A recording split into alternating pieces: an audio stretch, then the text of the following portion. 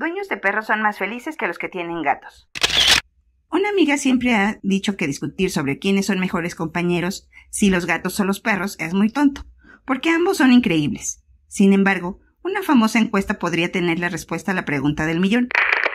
La encuesta social general, dirigida por la Universidad de Chicago, encontró que el 36% de los dueños de perros afirman estar muy felices, en comparación con el 18% de los que tienen gatos.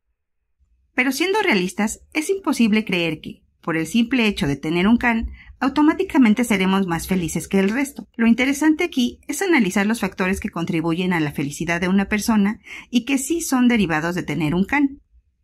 Por ejemplo, según el Washington Post, las investigaciones han demostrado que los dueños de perros tienen más probabilidades de hacer amigos con sus vecinos mientras pasean a sus mascotas. También que los dueños de perros suelen buscar a sus mascotas en momentos de estrés, además de que la mayoría reveló que consideran a sus perritos como miembros de su familia. No es que los gatos no se les aprecie como tal, pero ellos tienen otras formas de demostrarlo.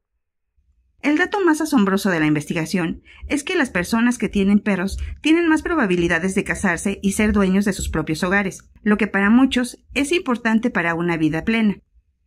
Si amas a los gatos también, hay buenas noticias para ti, pues investigaciones pasadas han revelado que tener una mascota la que sea, puede tener beneficios físicos y mentales como ayudar a curar síntomas de la depresión o reducir la posibilidad de tener un infarto.